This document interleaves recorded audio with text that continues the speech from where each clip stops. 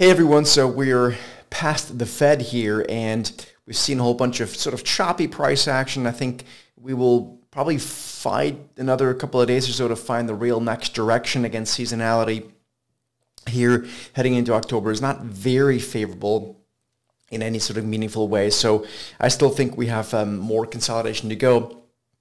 I want to have a look at Bitcoin because I think it's kind of telling us a very similar story. And even if you're not into that asset class, just you know, from a correlation perspective, it's important to understand that there's a high correlation between risk assets and Bitcoin. And it's telling us a very similar story. So let's have a real quick look at this here so that we can gain a little bit of uh, perspective. If we look at our uh, trend following uh, algorithm, so this is the uh, market rover, you can see that we uh, were in a bullish phase there for a while, uh, and uh, and but really it's just choppy right now. There's really no real direction, and we can see that also if we look at the absolute chart. Uh, takes a, a, bit more uh, sort of drawing of our own lines here as opposed to the algorithm doing it.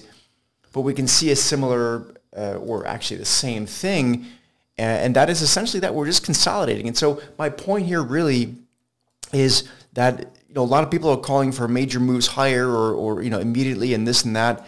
What I can tell you is that we're just consolidating, and, then this consolidation phase is not new. We've been in it since March of this year. And by the way, you know, if you were to overlay this and look at, for example, semiconductor stocks, which are highly correlated to this, like semiconductor stocks, as I think I mentioned here the other day as well, are exactly where they were in March. So let me just show you this with an arrow and again, I'm, I'm giving this for perspective, and I hope this is helpful for at least some of you guys. this consolidation phase here is going to cause a lot of uh, a lot of unnecessary losses in trading accounts. Just understand that we're consolidating. At some point, we will break in one direction or another. I do think ultimately Bitcoin can break higher, but know that it's correlated to not only other risk assets, but also to liquidity in the markets. And right now with the Fed passed, we're we're gonna take need some time to digest all this. Uh, as I'm recording this here early on Thursday morning, the 19th of uh, September, we're seeing a new risk-on move here, but really just kind of more or less where we were just before the Fed.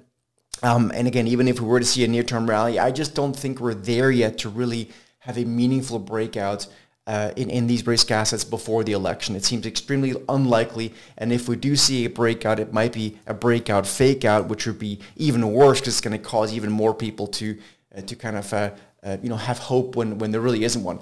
On a very near-term perspective, just so you guys know, we're using our uh, near-term uh, momentum indicator. You can see the TST trender is what we're using here. We had some, again, it's choppy, right? So we have near-term momentum, turned bearish a few days ago uh, or a couple weeks ago. Then Bitcoin dropped 11%. That's nice.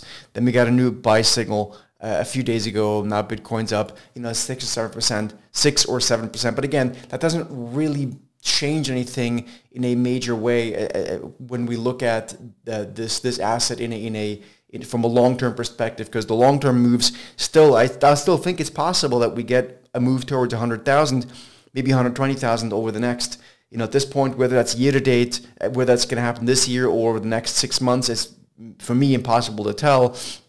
But I think that's possible through sort of a six-month lens that we get towards 100 or 120,000. But we do need a liquidity injection. Maybe after the, the, the, the election, we shall see.